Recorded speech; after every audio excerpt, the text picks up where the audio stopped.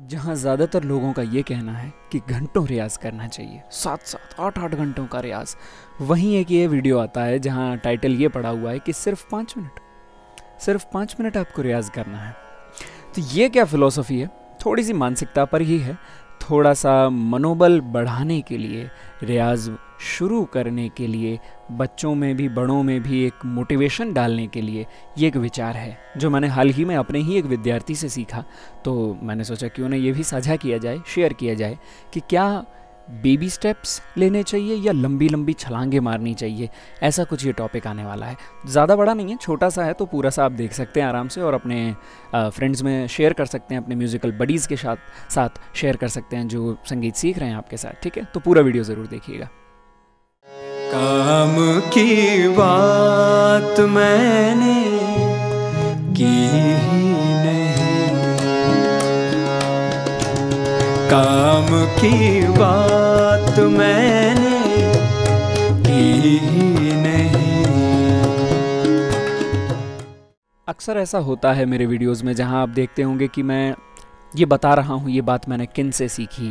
ये बात मैंने पिता गुरुजी से दादा गुरुजी से मेरे इंग्लिश के प्रोफेसर से आ, मेरे तबला गुरुजी से या फ़लाँ किसी व्यक्ति से या फिर इवन मैं आ, बड़े बड़े जो कलाकार हैं पंडित अजय चक्रवर्ती जी हैं पंडित जसराज जी हैं या कौशिकी चक्रवर्ती जी हैं इन लोगों से मैं आ, कुछ ना कुछ सीखता हूँ इनके अलंकार स्टाइल्स और मैं उन पर वीडियो बनाता हूँ। तो कई लोगों को ये चीज़ पसंद नहीं है।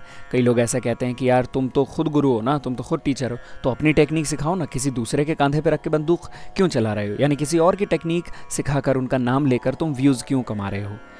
मेरा मकसद अगर व्यूज़ कमाना है भी, चलो माना तो मैं उन व्यूज़ में लोग कमा रहा हूँ। उन व्यूज़ में लोगों तक वो बात पहुँचा रहा हूँ सरलता से और एक एक्सपोजर उनको दे रहा हूँ। जो चीज़ मैंने जल्दी समझ ली बिकॉज़ मेरी एक लाइफ जर्नी रही है जिसमें मैं पूर्णतः संगीत में रहा हूँ। तो मैं कोई भी मुश्किल चीज़ होती है तो मुझे थोड़ी आसानी होगी बनस्बत किसी नए विद्यार्थी के समझने में। तो मैंने अगर वो चीज़ जल्दी समझ ली है तो क्यों ना मैं उसे बाहर बांटूं? क्यों ना मैं ज़्यादातर लोगों तक पहुंचाऊं? ये मेरा मकसद है। उसी तरह से आज मेरे पिताजी, जो हमारा संगीत प्रभा वर्ल्ड का जो चैनल है, उसी के थ्रू हमारा संगीत धरा का मोबाइल एप्लीकेशन है, उस पर कई सारे टीचर्स हैं, जिन्हें पिताजी ने अपॉइंट कर रखा है। अब वो जो सारे टीचर्स हैं, वो एक्चुअली में हमारे स्टूडेंट्स ही हैं। तो हमारे स्टूडेंट्स को ही उन्होंने तैयार करके वहाँ सिखवाना शुरू किया। तो उन्हीं में से एक स्टूडेंट, हाल ही में आपने उनकी तस्वीर देखी थी जिनके साथ एक नया गाना आने जा रहा है, बीरेन प्रधान जी। तो वो उड़ीसा से हैं तो वो एक क्लास में ये बात बोल रहे थे जहाँ से मेरे पिताजी ने ये लर्निंग ली। बोले कि यार ये एक अच्छी चीज़ है जो हमें अपने शिक्षा में जोड़नी चाहिए सिखाते समय। तो वहाँ बिरेन अपनी क्लास में क्या कर रहे थे कि बच्चों को छोटे छोटे बच्चे हों या बड़े बड़े लोग हों उनको ये कहने के बजाय कि भैया मॉर्निंग वोकल रियाज तीन घंटे का पूरा प्रोसेस है सवेरे ब्रह्म मुहूर्त में उठना है और वहाँ करना है आ, ये ये टेक्निक्स हैं। वो ये कह रहे थे कि आपको ज़्यादा कुछ नहीं करना है सिर्फ़ पाँच मिनट का रियाज करना है आपको मेरी कसम है। ऐसे थोड़ी सी दोस्ती में अच्छा रिश्ता बना के स्टूडेंट के साथ उनको ये कह रहे थे कि आपको मेरी कसम है, आपको पाँच मिनट रियाज करना है, ज़्यादा करना ही नहीं है। तो ये चीज़ शुरू में पिताजी को भी बड़ी अटपटी लगी, यार, पाँच मिनट का रियाज, ये तो कैसी बातें कर रहे हैं? हम तो तीन घंटे बोल रहे हैं करने को और धीरे धीरे उसमें वृद्धि करने की बात कर रहे हैं और ये इंसान कह रहा है कि पाँच मिनट रियाज कर लो। फिर पिताजी ने उस पर ज़रा सोचा और जब ये चीज़ मुझे बताई तो मुझे भी ये बड़ी सटीक लगी कि बेबी स्टेप्स छोटे छोटे कदम लीजिए one day at a time जिए हैं। तो कितना आसान हो जाता है। अगर एक बार को हम सोचने जाएँ, यार, दस साल दस साल का है ये प्रोसेस तो लगता है यार कैसे सीखेंगे? लेकिन अगर आज काउंट किया जाए खाली कि आज क्लास जाना है, गुरुजी के पास बैठना है और आज का लेसन करना है, उसको आज प्रैक्टिस करनी है और ये उनको करके दे देना है। इतना सा काम है।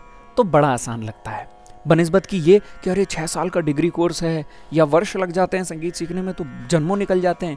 ये जैसी बड़ा बड़ा बड़ा बड़ा नाम आता है तो हमारे मन में क्या आता है, यार, ये तो होगा ही नहीं, ये अपने से नहीं होगा। तो हम शुरू ही नहीं करते हैं। जैसे ही कह दिया जाए कि तीन घंटा रियाज होता है सात सात आठ आठ घंटा रियाज होता है तो हम डर जाते हैं। हम कहते हैं, यार, इतनी तो अपनी कैपेसिटी नहीं है, जबकि ऐसा कुछ नहीं है।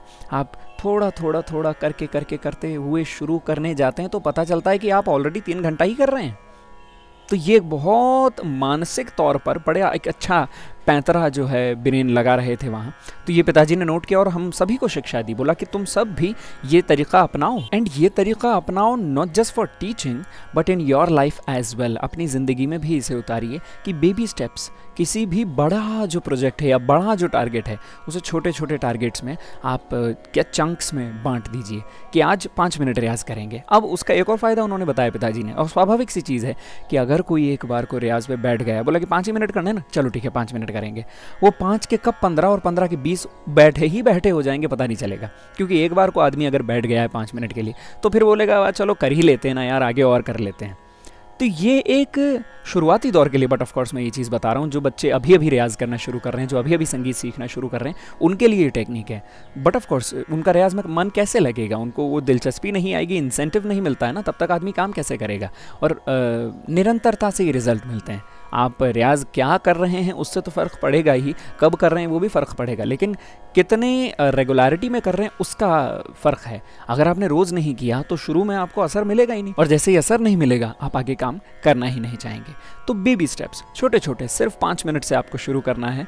और ये मैं चीज़ शेयर इसीलिए कर रहा हूँ, ताकि अपनी लाइफ में आप उतारें।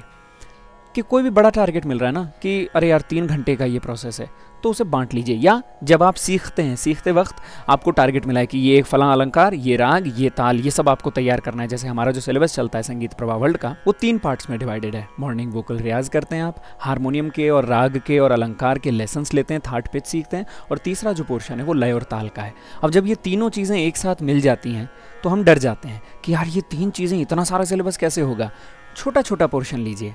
एक बार के लिए ये दो अलंकार ले लीजिए, रियाज में ये एक स्टेप ले लिया और ताल में ये एक चीज़ ले ली। यानी तीनों से थोड़ा थोड़ा पोर्शन आपने लिया और थोड़ा थोड़ा करते हुए वो पूरा पूरा बूंद बूंद से आपने सागर बना दिया। ठीक है? तो ये एक प्रोसेस है, ये एक प्रक्रिया है जिसको अगर आप फॉलो करते हैं तो मेरे ख्याल से आपको काफ़ी मदद मिल जाएगी रियाज करने में, रियाज में अपनी कैपेसिटी बढ़ाने में। भाई, शुरू में जिम करते हैं तो ऐसा थोड़ी होता है, एक ही दिन में आज ही बॉडी बना के निकलेंगे। नहीं आप थोड़ा थोड़ा करते हैं। आज सिर्फ़ वार्म अप किया, आज सिर्फ़ स्ट्रेचिंग करी, उसके बाद अगले दिन एक और स्टेप ऐड किया, एक और ऐड किया।